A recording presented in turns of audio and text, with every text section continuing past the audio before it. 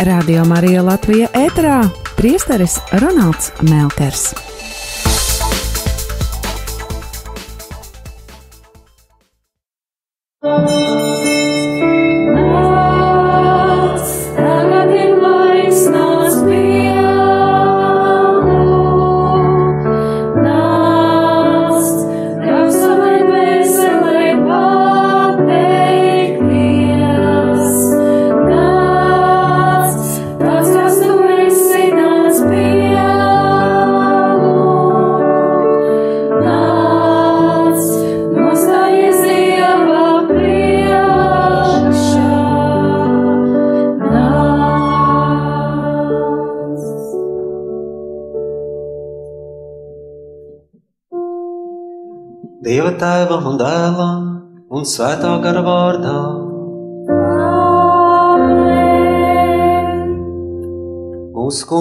Kristu žēlastība un Dieva mīlestība un svētā gara klātbūtne, lai ir ar jums visiem.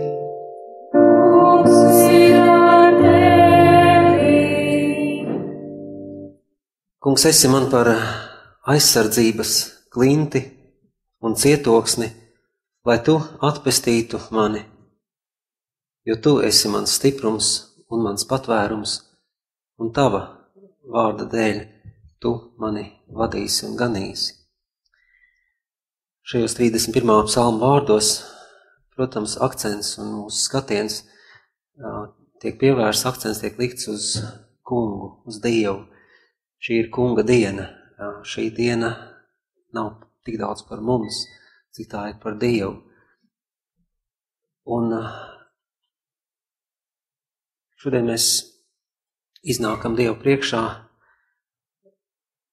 vēlams bez nekāda atsevišķa tāda detalizēta plāna vai nolūka vai, teiksim, izklāsta, ko mēs gribam, ka Dievs dara, vai kā mēs gribam, ka Dievs visas lietas tagad turpmāk kārtotu. Mēs nākam vienkārši nostāties Dievu priekšā. Mēs nākam viņu uzlūkot, mēs nākam ieiet šajā viņa um, dzīvē, paskatīties uz, uz pasauli, kā viņš to redz, saprast, kas ir viņa griba, ko viņš vēlas savā gudrībā, savā bezgalīgajā labestībā, savā spēkā, kāds ir viņa plāns, kādas vienkārši, tā teikt, uzlūkot Dievu. Vārds, vai tas akcents nav uz, oi, Dievs, man tur ir tas un tas un tas, vai nav tā un tā un tā. Par to nav stāsts. Stāsts ir par Dievu. Stāsts ir par to, lai mēs viņu ieraugam, iepazīstam, vēl vairāk iemīlam, atklājam, kas viņa grib, un tad jau tālāk, kā to izpildīt. Tās būs detaļas.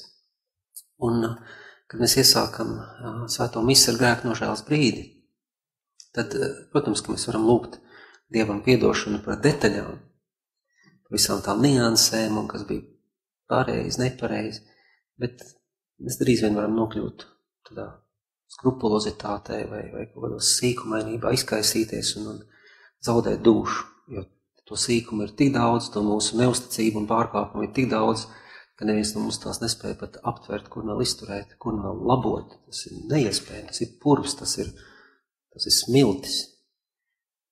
Bet, ja mēs skatāmies uz Dievu un sakam, bet varbūt mans grēks nav tas, ko es tur darīju vai nedarīju, tās ir tikai sekas tam, ka es neskatījos uz Dievu, es nemeklēju izpildīt viņa gribu, ka es veidoju Dievu pēc sava attēla, nevis ļauju viņam veidot mani līdzībā sev.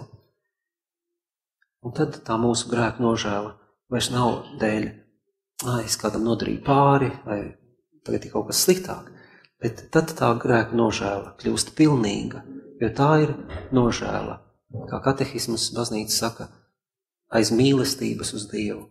Un ja, tev, ja tu spēj sevi uzmodināt šādu pilnīgu nožēlu, tavi grēki tiek dzēsti tajā pašā brīdī.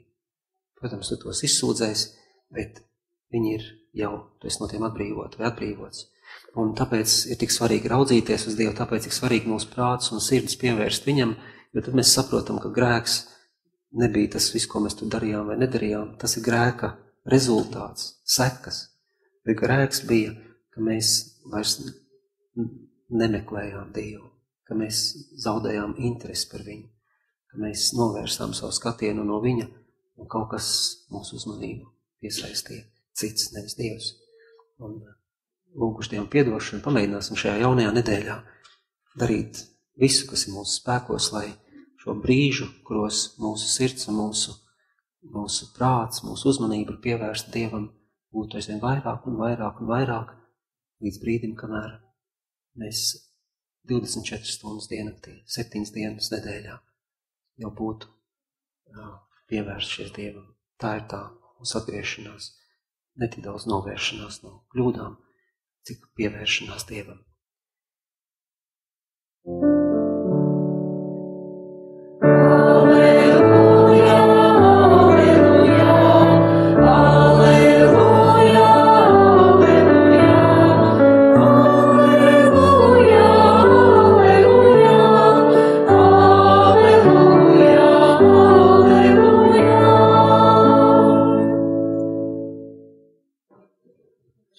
Dievs, atver mūsu sirdis tā vārda labākai izpratnei.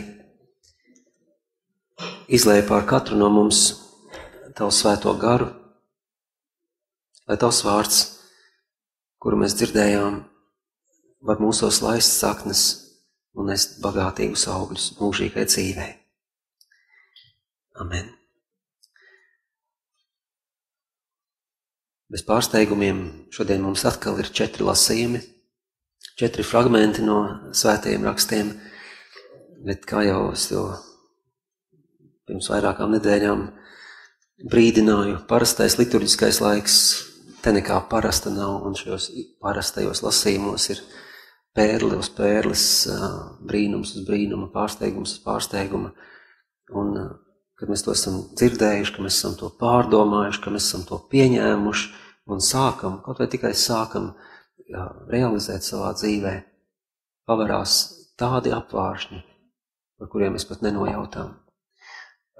Tā, tā, tā sajūta varbūt ir līdzīga, kā mēs te ar Veroniku katru mēnesi braucam uz cīrulīšiem, uz pansionātu, kalpot tiem klientiem, kas, kā doma saka, tur mājo.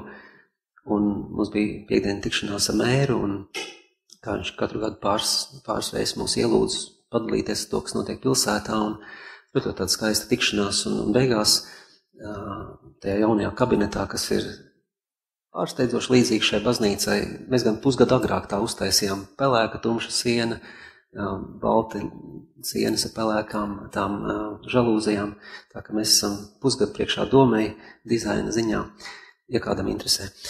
Bet tas, kur mēs vēl neesam, viņam bija kaut kāds 80 colu televizors pie sienas, un viņš vienkārši no sava galda atvēra datoriņu, un pēkšņi uz tā ekrāna sāk vis kaut kas notikt.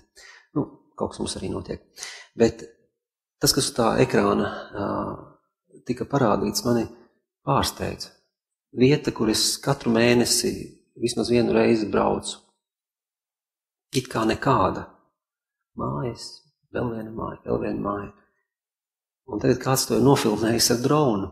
Jo stāsts bija par Čagarkalnu, stāsts bija par to kosmosa centru, par, par, tren, par tenisa kortiem un, un spā, bet nofilmēts no augšas. Tas pats ceļš, es vairs nekad pa to ceļu nebraukšu tā, kā es līdz šim braucu. Izrādās, turpat blakām ir Žagarkalns, turpat aizmugurē. Es domāju, ka tur ir vendena rūpnīca, ka ir kaut kāda industriālā zona, bet tur ir tāda gaujas ielēja. Un ar sniegu, ar, ar, ar, ar priedē vienkārši wow. Burtiski, wow, tas bija mana uh, uh, reakcija jaunlatviešu valodā. Bet, kad mēs lasām Dievu vārdu, es domāju, un es ceru, ka mēs katrs piedzīvojam kaut kādu šo wow faktoru. Katram no mums ir uh, jābūt tā, ka kā es to pašu lietu, kurai es bridu pāri, kur es varbūt regulārā veidā uh, sastapu. Kā es to varēju neredzēt? No, kop, kopējā bildē. Ja? Un, un, un šodienas lasījumi mums, mums, kā vienmēr patiesībā, dod šo lielo bildi, dod šo atzīmēšanu, šo paiešanu un tādu kopējo ainu atvest pie, pie kāda būtiska lēmuma, kas mums ir jāizdara, jo no tāpēc tam tālāk viss ir atkarīgs. Ja mēs to neizdaram, nu, ja tu esi aizgājis nepareizo ceļu, katra lieta, ko tu darīsi, tevi attālinās no mērķa, nevis tuvinās, un tu pūlēsies, un tu teiksi, nē, es tomēr izturēšu, es kaut ko rāpošu, bet katra šīs pūles strādās pret tevi. Katra šīs pūles tevi attālinās no mērķa. Ja tu nebūsi sākumā izvēlējies pareizo ceļu. Tā mums visiem zināmā metafora jā, par krišanu no devītā stāva vai no pirmā stāva, tā atšķirība ir, ir skaidra. Jā. Vienā gadījumā tu krīti ā, bum, otrā gadījumā tu krīti bum, ā, un, un šeit šodien, ne, ne gluži anekdotiskā veidā, bet mums Dievs iedod šos divus variantus. Tev ir vai nu svētības ceļš, vai nu lāsta ceļš. Tev ir divi ceļi, tev ir divi dzīves veidi, divas izvēles.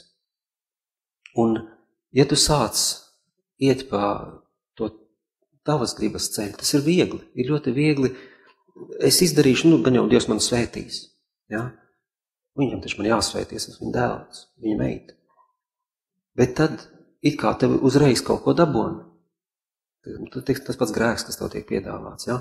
Tūlītēja gratifikācija, tūlītējs apmierinājums, tūlītējs bauda, tūlītējs ieguvums pēdiņās. Ja? Tev ir bum, o, tik viegli, tikai paņem. Un pēc tam ir ā, varbūt visa mūža garumā. Es sastopu cilvēkus, kas 50, 60 gadus pēc kāda grēka vēl joprojām viņu sirds asiņo. Tas ā, un tas nav tikai viņiem, tas var būt vēl citiem cilvēkiem, tas var būt pēc tūkstots gadiem, vēl var būt šie au, au, au. Bet savukārt, ja mēs aizējam pa to ceļu, kas ir Dieva griba, mēs zinām, ka šis ā, un bet būs bum, bet toties, ka tas bum būs bijis, tālāk viss ir mierīgi. Un tas ā sākumā ir ļoti, ļoti grūts bieži vien. Nav tā, ka izvēlēties dievu gribu, tas ir balts trusīts, lēkā pieneņa pļavā. Nē, tā ir, tā ir reizēm, tā ir, tā ir nomiršana sev. Tas ā ir reāls un tas sāp. Bet īsu brīdi, jo tad, kad ir bum, tas viss aizmirstās un tev ir tikai vienīgi gaisma, brīvība, laime. Un uh, pirmais lasījums un pārējie šodien mums tieši runā par tiem svētībām, un svētīgs, laimīgs tie varētu būt sinonīmi, un mums tiek teikts, vispirms nolādēts ir vīrs, kas paļaujas uz cilvēku, un jautājums uzreiz ir, vai tiešām Dievs var kādu nolādēt, ko nozīmē nolādēts, un vai tad tiešām nedrīkst paļauties uz cilvēkiem. Un pretēji tam, kas šķiet lasot pavirši, un mēs nedrīkstam šo tekstu lasīt pavirši, tāpēc pravietis iesāk ar šo svinīgo. Tā saka kungs. Apkustiet, klausieties, kungs runā. Katra nianse ir svarīga. Ja? Jā, nolādēts ir vīrs, kas paļaujas uz cilvēku un miesā saskat savu spēku, un kuras sirds atkāpjas no kunga. Tātad nevis problēma ir tanī, ka cilvēks uzticās viens otram, ka mēs balstamies viens uz otru. Tas ir tas, ko Dievs grib. Tas ir mīlestības pamatprincips. Nesiet viens otru nastas, ja? ņemiet viens otru jūgu, sajūdzieties kopā, ja? neļaujiet nokrist. Ja kāds nokritis, celiet augšā viens otru, balstieties viens uz otru. Ja? Divi ir tādi daži dažādās tur pasākumos, spēlēs, tur pacēl vienu kāju, tad tu esi kreisā kāja, tas otrais ir labā kāja, pamēģināt pastaigāt. Ja? Bet, bet tas ir labāk nekā, ka tev ir tikai viena kāja. Tev ir otrs, pat ja viņš ir vienkārši, tev ir viena acs, otram ir viena acs, tas jau ir divas acis tomēr. Ja? Un tev nav jābūt pilnīgam, tev nav jābūt e, izcilībai, lai tu varētu otram būt par valstu. Un tas ir absolūti tas, ko Dievs grib, lai mēs esam viens, lai mēs rūpējamies par otru kā par sevi, lai mēs mīlam savu tuvāko kā sevi pašu. Tas ir absolūtā Dieva griba, par to nevar būt ne mazāko šaubu. Bet tas atslēgas vārds šī teikumā ir tas otrais un, vai arī kamēr būtu droši vien pareizāk teikt, tad laikā kamēr. Ja? Tad cilvēks, kas paļaujas uz savu spēku, bet kuras sirds ir atkāpusies no kunga, tad mums ir jāpaļaujas vienam uz otru, jābalstās vienam otrā, jātic cilvēkiem, atjaunot ticību cilvēkiem. Bet to nedarīt, iemainot to pret Dievu. Es tikai neatmetot Dievu. Un Jeremijs, mēs jau esam atpakaļ pie Jeremija, viņš, atcerieties, šis kautrīgais puisis, kas tiek sūtīts pie valdniekiem, pie ķēniņa, lai teiktu, un šis ir domāts ķēniņam galvenokārt, un, protams, visai tautai, jo ķēniņam ir kārdinājums taisīt alianses ar citām tuvējo austrumu lielvarām. Te tur ir Asīrija, te ir Ēģipte, te ir Babilona, vēlāk nāks Persija, un tad būs Grieķija, un tad būs Roma, un no tā mazā, mazā tautiņa, tas ir Dieva tauta, kur Dievs garantētu, un vienīgā alianse, kas tā ir svarīga, bez aliansē mazas tautas nevar iztikt, mēs to ļoti labi saprotam, vai nu padomu savienība, Eiropas savienība, bet Latvija viena pati nevar pastāvēt šajā pasaulē, tas ir pilnīgi skaidrs, tādā cilvēciskā līmenī sakot, jā. Bet Izraēla tautai. Viņi saka, bet Dievs saka, tā ir mana tauta, es esmu jūsu Dievs. Un vienīgā alianse, par ko tev ķēniņam ir jārūpējās, ir par, lai tauta ir uzticīga man. Tā būs man uzticīga, neviens ķēniņš neko sliktu jums, nekāds Nabukodonozors pār nenodarīs. Atkāpieties no manis, un jūs piedzīvosiet slaktiņu, iznīcību, vilšanos, Un vēlāk tajā pašā ierīmīgā grāmatā ķēniņš Sedecīs, kurš neņem vērā šo brīdinājumu, piedzīvo slaktiņu, vilšanos, nāvi, postu. Tāpēc, ka viņš uh, paļāvās uz cilvēkiem, bet viņa sirds atkāpās no Dieva. Tad problēma nav uzticēties cilvēkam, viņus iesaistīt.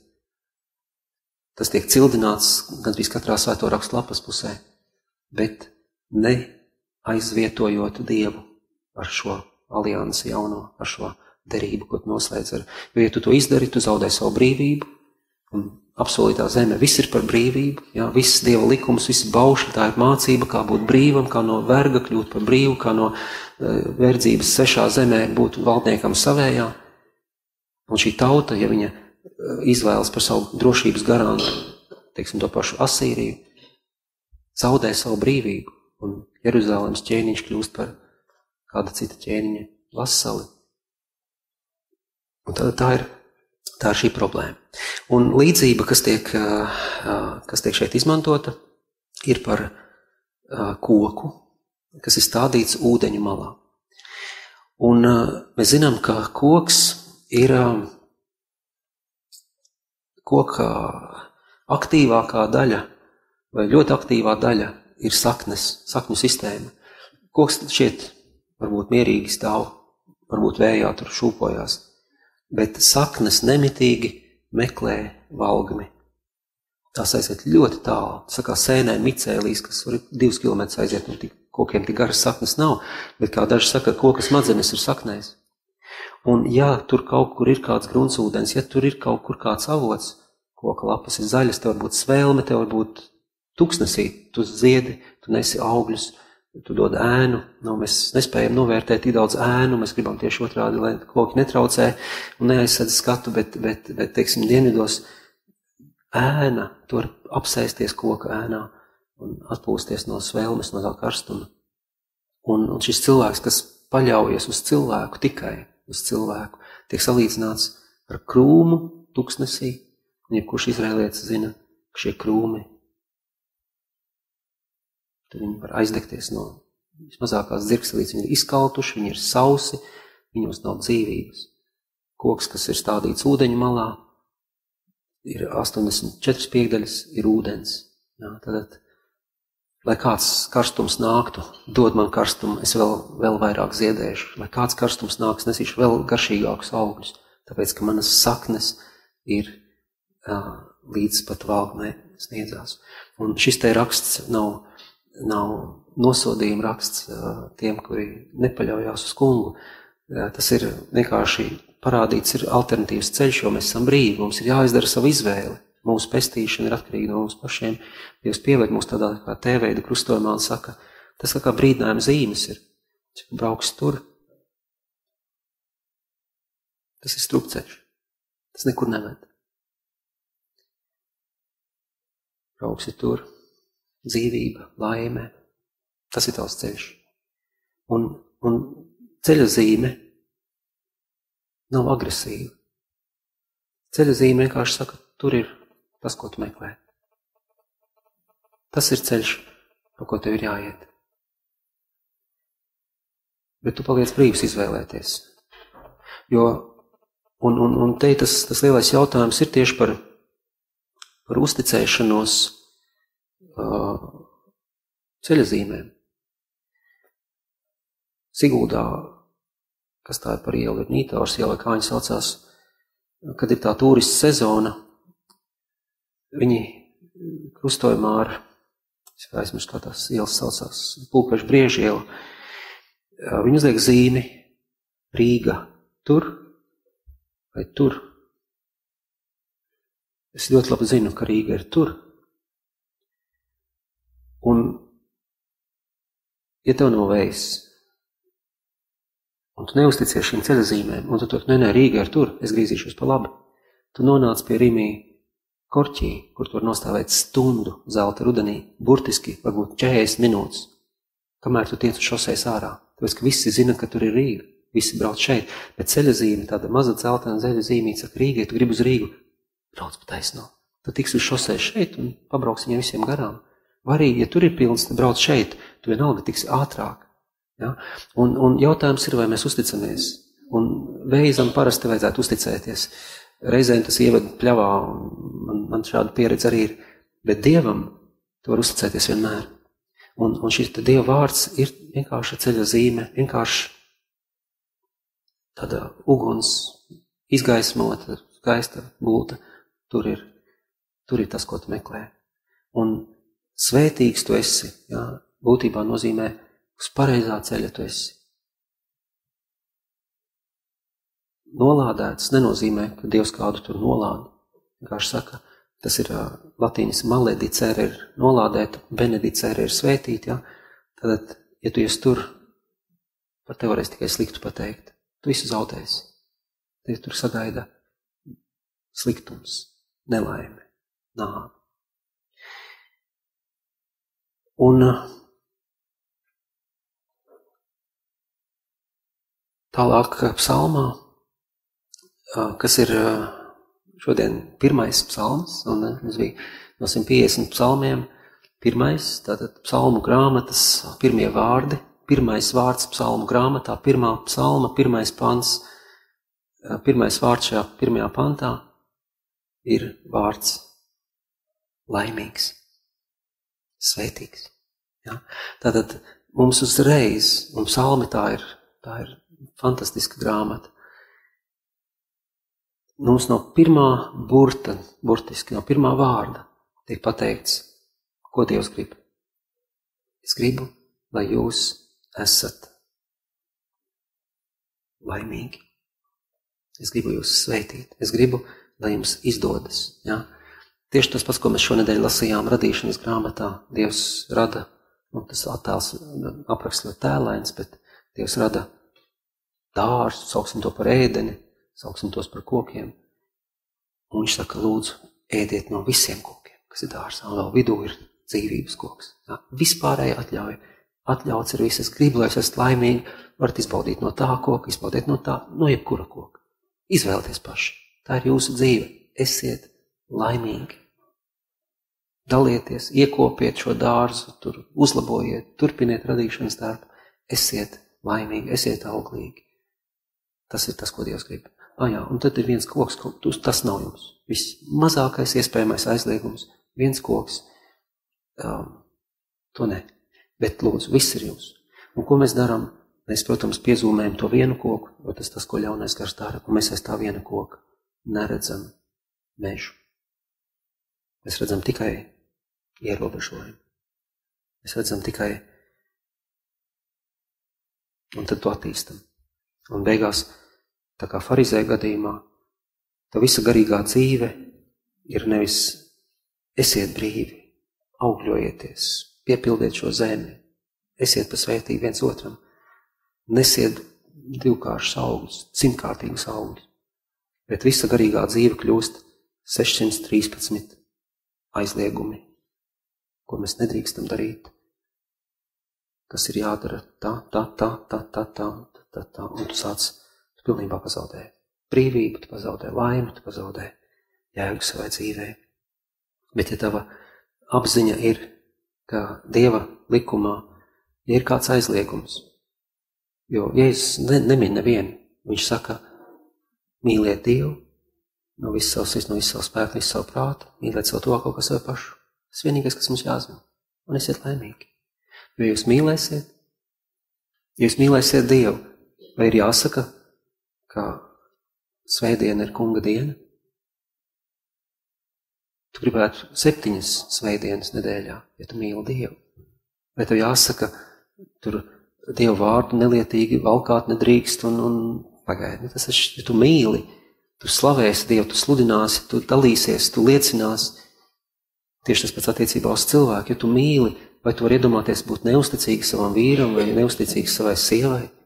Vai tu iedomājies, ja tu mīli nepaklausīt tiem, kas par tevi ir atbildīgi, vecākiem vai tur vēlāk priekšniecībām vai tam līdzīgi, būt labiem vecākiem arī tajā ceturtajā bauslī. Ja tu mīli, vai tu iedomāties, ka tu nogalināsi? Ja tu mīli, vai tu iedomāties, ka tu melosi? Ja tu mīli, vai tu iedomāties, ka tu zaksi? Ja? Bet tā ir cita domāšana, aizlieguma domāšana, legālisms saucamais, jā, tā ir likuma verdzība. Un tas ir nelaimes ceļš, jo tu nevari izpildīt likumu. Neviens nevar. Bet mīlēt mēs varam visi. Būt brīvi mēs varam būt visi. Bet mums ir tāds ieaudzinātas bailes no brīvības, ka mēs sakam, nu, kas man kur man te bija grēksūds jāiet, ka es Es tagad es varu sēsties jebkurā krēslā baznīcā, piemēram. Man taču ir sava vieta, man ir šī maliņā visu laiku jāsēž. Nē, tu vari sēdēt tur, tur, tur, tur. Tev ir 96 vietas, kur sēdēt šeit. 96 balti krēsli, izvēlies jebkur. Es nesaku, ka šī ir problēma nekādā gadījumā, lai gan būtu forši, ja mēs iesāktu piepildīt baznīcu no vidus, tā kā, kā es to vairāk kārt teicu, lai nebūtu tā, tā burzma.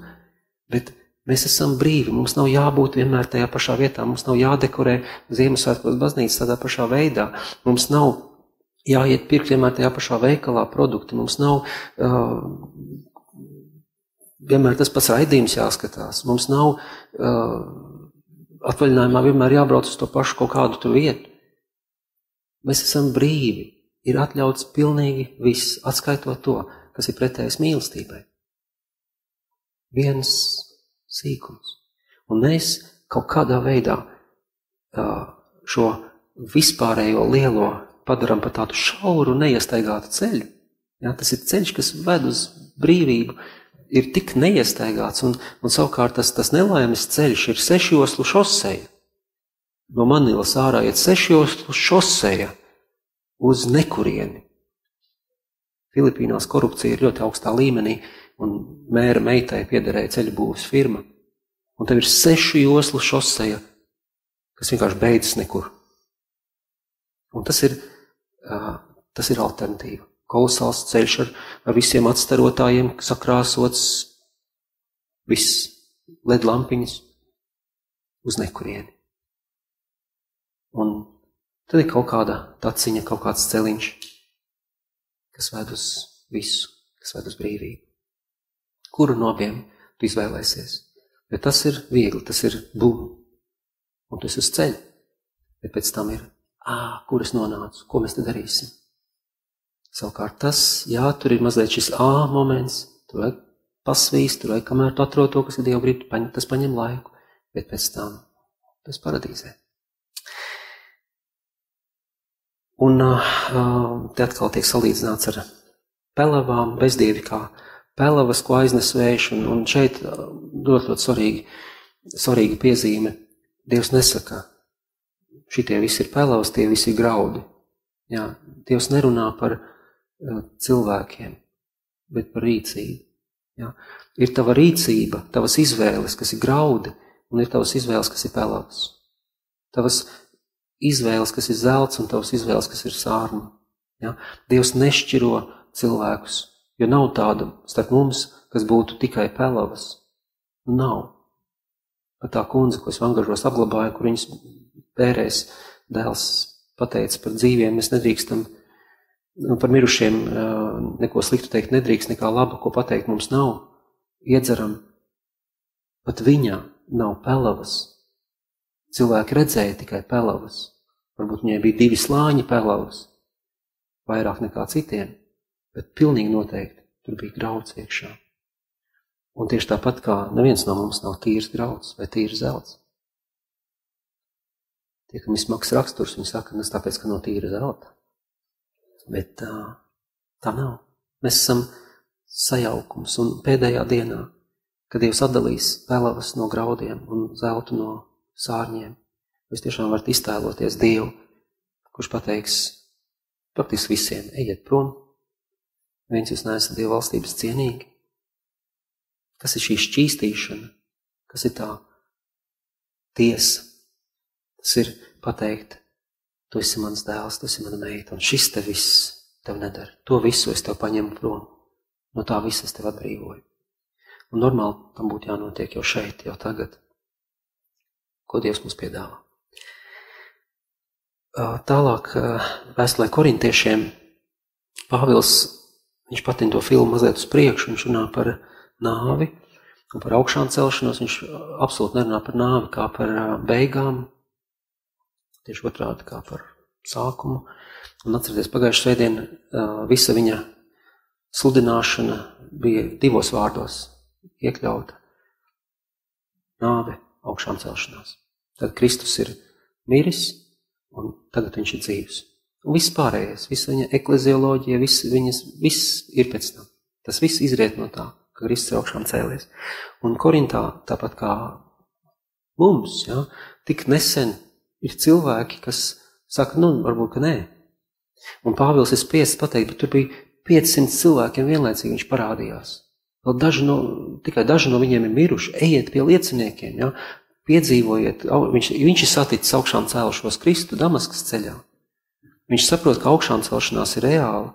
Un viņš saprot, ka ja viņš ir, ja Kristus ir augšām cēlies, mēs esam augšām cēlušies. Ja Kristus ir uzvarējis nāvi, mēs esam uzvarējuši nāvi. Un turpmāk Nāvei vairs nav tā statusa, kad bija līdz šim. Nāve pēkšņi kļūst par triumfu, uzvaru, par ieiešanu mierā, ieiešanu, atgriešanos mājās, par, par ieiešanu pilī, ķēniņa, meita vai dēls ieiet pilī. Šorīt, starp citu, Jelgavas bīskaps Justs iegāja apsolītajā zemē. Tad debesīs ir pa vienu bīskapu vairāk. Vai tas nav skaisti, vai šī diena Jelgavai, kurā viņš tik daudz uh, atdeva savu mūžu, vai tā nav viena no gaišākajām dienām? Vai debesis pavērās, lai bīskapu aicinātu pie sevis? Vai tas neizgaismoja Jelgavu? Un uh, evaņģēlijas, evaņģēlijas atgriežas pie, pie šī svētība tēmas, un atšķirībā no Mateja, Lūkas šo sarunu konkrēto situē nevis kalnā, tātad, kas ļoti simboliski svētības, tā ir tāda kalns, kurā tu uzkāp un lūk. Bet viņš saka, nokāpis no kalna, lēzenā vietā. Tad Jēzus varētu teikt, viņš šo svētību kas varbūt bija līdz tam uzskatīts, ka tas ir rezervēts kaut kādiem apgaismotajiem vai kaut kādiem tur svaidītajiem, ja? viņš to no, no, nones no kalna lejā. Viņš to atnes līdz ielējai, līdz katram. Viņš to padara pieejamu katram, kas klausās. Un tas, kas mūs fascinē pie šīm svētībām, ir cik nepareizas tās izklausās. Nabadzīgie, tie, kas cieši izsalkumu, kas raud, kurus ienīst, lamā, tiek pasludināti, laimīgi jūs esat. Savukārt tie, kuri ir pāēduši, smējās, bagāti, kurus viss ir liela, kuriem daudz sekotāju Instagramā, es saku, pēdas jums. Tur nav nekādas loģikas. Bet loģika ir, jā, un varbūt sāksim ar bēdām, sāksim ar to nolādēts, jā, vai nelaimīgs tu esi tad, jo tas nav, nav tie, kas smējās, bet tie, kas smējās, bet pēc tam raudās. Bum, ā. Tas ir lāsts, tā ir nelaime. Ja? Nevis tas, kāpēc, ka tu smejies. Svētie ir, svētiem vienmēr ir bijusi ļoti, ļoti laba humora izjūta. Viņi likuši smieties ir visiem sev apkārt, ja kāds tev, ja, ja, ja tu neatrodi humoru izjūtu cilvēkā, viņam vēl ceļš līdz svētumam ir tālu ejams. Bet atkal tur tas un, ja, tas, tas kopā jālasa viss teikums, kas smējās, bet pēc tam raudās. Tātad šie smiekli, kas neved uz mūžību, tie tā paēšana, kas tevi dara izsalkuši garīgi, tā bagātība, kas tev liek zaudēt mūžīgās vērtības. Tā tas gods no cilvēkiem, kas Dievu priekšā ir negods, tas ir, tur ir tā zīme virsū nelaimīgs, tur ir tā zīme virsū nolādēts, tur ir tā zīme virsū uz nepareizā ceļa. Ja? Un Dievs saka, tā kā te vakar bija cēsīs melnais ledus, ja? ceļš izskatās tik tīrs un tur rauc un ja?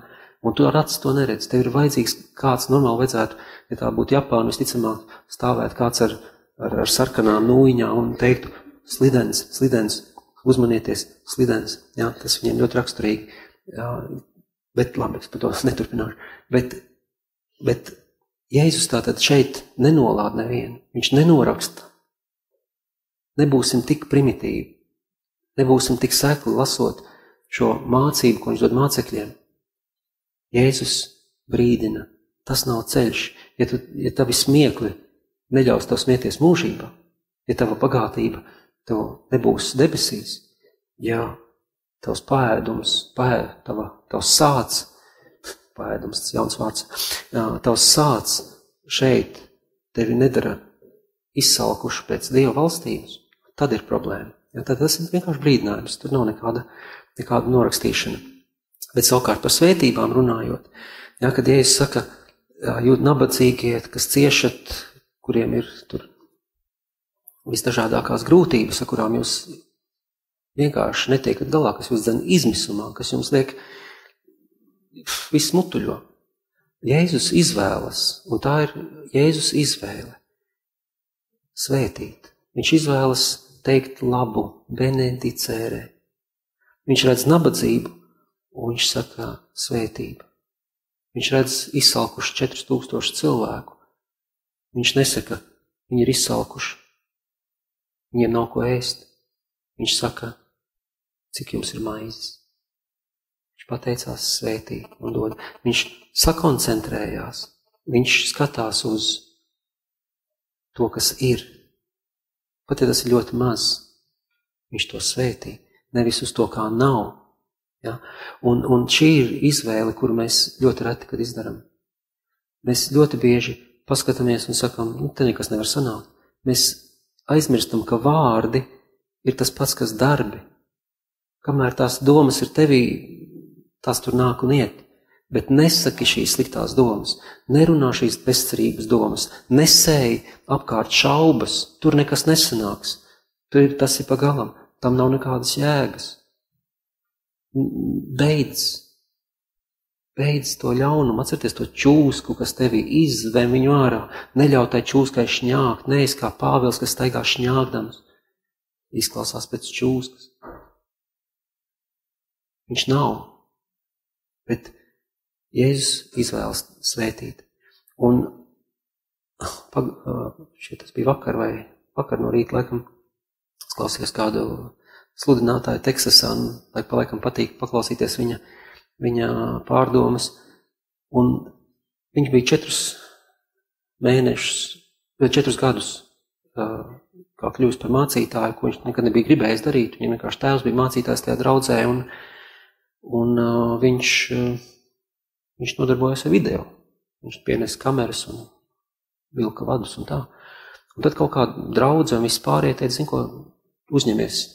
Un mēs par tevi lūgsim un svētīsim. Un, un Dievs tiešām svētīja. Un no, no šī puiša sanāca ļoti tāds slavens sludinātājs. Un, un tagad uh, tā draudze ir izaugusi un, un viņiem ir tas basketbola stadions, ko, pie kā viņi ir tikuši, tā arēna Rīga nobaltā, tā, tās telpas priekšā, kas viņiem tiek, un draudz ir izaugusi, bet, nu, tomēr. Un viņi saka, bet mums to vajag uztaisīt pa baznīcu tagad, šo stadionu. Un viņš pajautā celtniekiem, cik tas maksās. Un aprēķina, es jau, nu, tur plus mīnus, bet principā mums vajag apmēram simts miljonus, lai izlabotu šo telpu, lai sakārtotu, uztaisītu to par baznīcu. Simts miljonus. Viņš teica, tad, kad es piecēlos no grīdas, manī uzreiz bija, tas nav iespējams, mums tādas naudas nav, tas ir galīgi garām, tas viss viņā bija. Mēs atpazīstam šo pirmo reakciju. Katrs no mums mēs tā reaģējam līdzīgās situācijās. Bet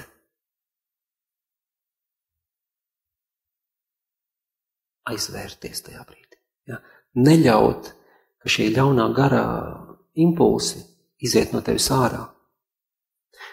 Aizver savu muti, nesaki, nesēji šaubas, nesēji bažas, nesēji nedrošību, nesēji, jo tad tu esi noskaņojies uz vēlna frekvences. Ja mēs šodien par to daudz runājām, darbdienās, tu noskaņojies uz vēlna frekvences, kas ir bailes, kas ir neusticēšanās, kas ir meli, kas ir neiespējamība, nelaime. Un, ja tu runā šīs lietas, tu esi uz tā paša viļņa, uz kā ir elle, un tu pēkšņi sāc dzirdēt elles balsi, un tu, sāc, ja tu tās sāc runāt, tu kļūsti par elles ruporu. Braucot uz Raunu, kaut kur ap Jaunraunu, un pēkšņi Igaunijas rādio tiek es, es, es, es nosēvējis, viņa ļoti skaista muzika, vai ne? Un es pēkšņi dzirdu Igauniju. Kamēr viņi nesāk runāt, viss ir kārtībā, protams, vai ne? Bet, bet ja es būtu, tāpēc, es esmu izvēlējies noskaņoties uz tās frekvences. Un problēma ar, ar, ar teikt sliktu, teiksim, ieraudzīt nabadzību un teikt nevis svētīgi, jūs nabadzīgie, jo jums pieder Dieva valstība, teikt, jūs esat nabadzīgi, jums nav nekādu iespēju, jūs esat, un viss esi atvērs muti vēlnam, tu esi atdevis savu muti vēlnam, tu nevis, tu lādi, apostols saka, svētījiet, bet nelādiet, ja lai neviens slikts vārds neiznāk no jūsu mutes, un ja jūs runājat, tad sakiet kādu labu un konstruktīvu vārdu. Tas tas, ko apostuļi mums saka, tas, ko Dievs šeit dara. Viņš redz asaras, Cilvēki raud varbūt tāpēc, ka viņiem kāds ir nomiris. Cilvēki raud varbūt, ka viņi kaut ko ir zaudējuši. Cilvēki raud varbūt tāpēc, ka viņiem sāp. Un Jēzus nesaka, viņš nerunā par to, viņš saka, svētīgi jūs esat. Viņš izvēlas teikt labu. Ciešat izsalkumu. Mums nekā nav. Mums bija viena, viena meitenīte, Vecāks saka, nav, ne, nevaram, mums nav naudas, nevaram atļauties. Mums, saka, mums nav naudiņas, mums nav naudiņas. Ja? Un ko tu dari? Tu vienkārši sēji lāstu. Kāpēc tā vietā nepateikt, Dievs svētīs? Kāpēc nepateikt, mēs redzēsim, kā Dievs mūs no šīs situācijas izvedīs? Kāpēc neizvēlēties uzticēties Dievam? Kāpēc apstāties pie nelaimes? Kāpēc domāt nelaimes domas?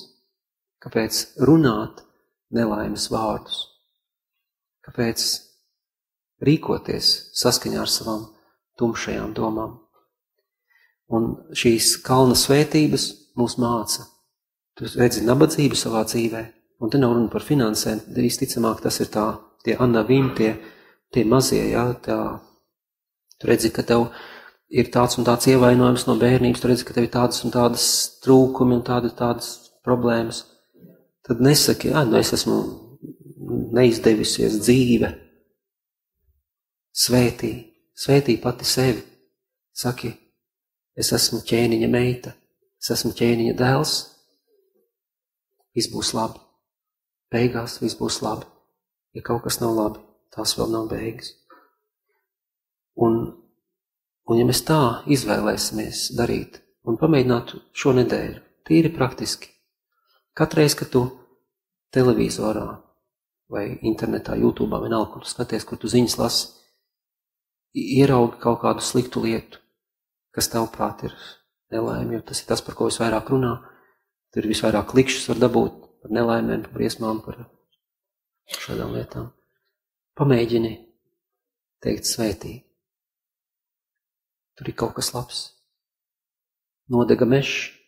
Saki, o, pēc 40 gadiem tur būs jauns mežs. Kāds ir uh, cilvēks slimnīcā. Hmm. Dievs kaut ko dara šajā dvēselē. Ļoti lielas lietas Dievs dara. Vakar cēlās slimnīcā mums piedzīvojām ļoti lielisku lietu. Stundas laikā reanimācijā, ko Dievs var izdarīt. Fantastiski. Jā, un tur atnākt un tur teikt, un bēda, nelaime. Cilvēks mirst. Un es atceros to, to savu sajūtu, jā. Tik, tik daudz, ko tu varētu teikt nelaime. Un tu izvēlies labi. Un,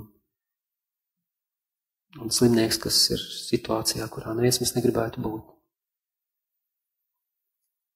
smaida un raud no prieka. Tas ir, tas ir rezultāts. Ja? Tas ir rezultāts, ja mēs izvēlamies teikt labu. Un, ja mēs esam Kristus mācekļi, un Lūkas šeit uzsver, ka Jēzus pacēla savas acis uz mācekļiem, tad viņš viņus uzlūko kā līdzīgs. Viņš saka, jūs gribat mācieties no manis. Viņš nav skolotājs, viņam nav skol, skolēni vai studenti. Viņš nemāca jaunu teoriju. Viņš saka, mācieties no maniem, klausieties. Un pēkšņi kāds raud. Svētīgs tu esi, ja tu raudi. Mācieties no manis. Ja? Jēzus māca, redzot nelaimi, teikt labu. Es jums varu garantēt.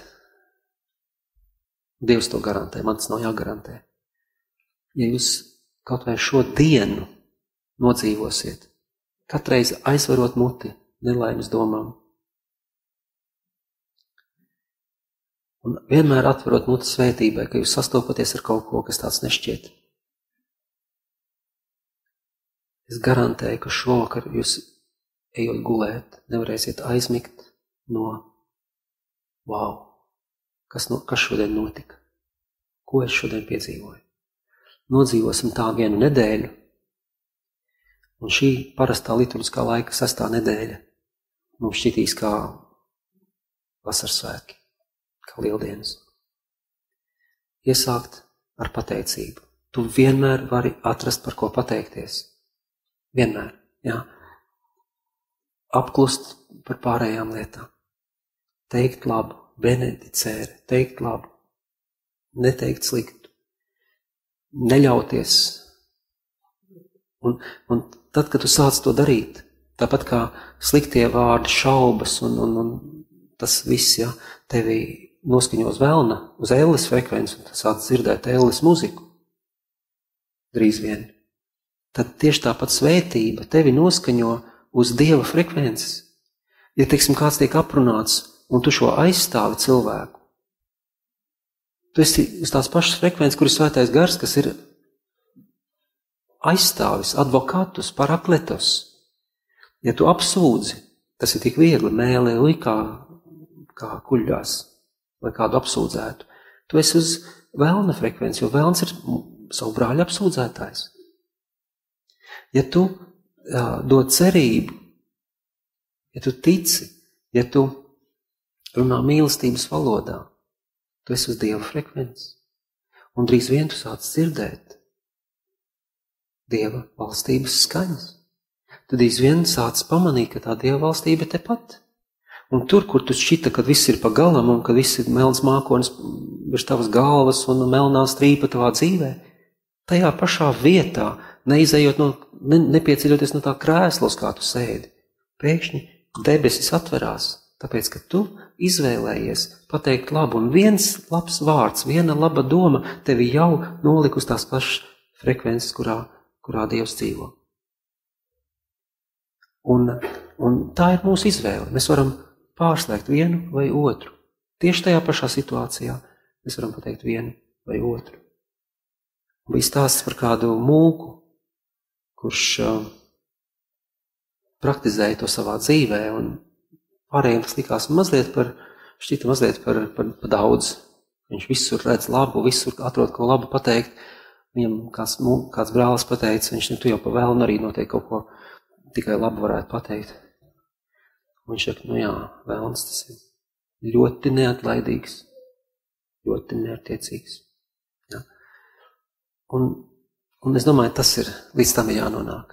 Vai tu pat par vēlnu varētu tikai labu pateikt, bet neapsūdzēt vēlnu. Man liekas, tā ir pilotāža, uz ko mums vajadzētu tiekties. Ja? Un, un ja, ja, ja tas tā notiks, ja, šodien, es vēlreiz atkārtoju, tam nav jābūt rīt, tam ir jābūt šodien, tas jāsāk šodien, tad, tad tās svētības, kas ir Kristus mācekļu harta, notiks.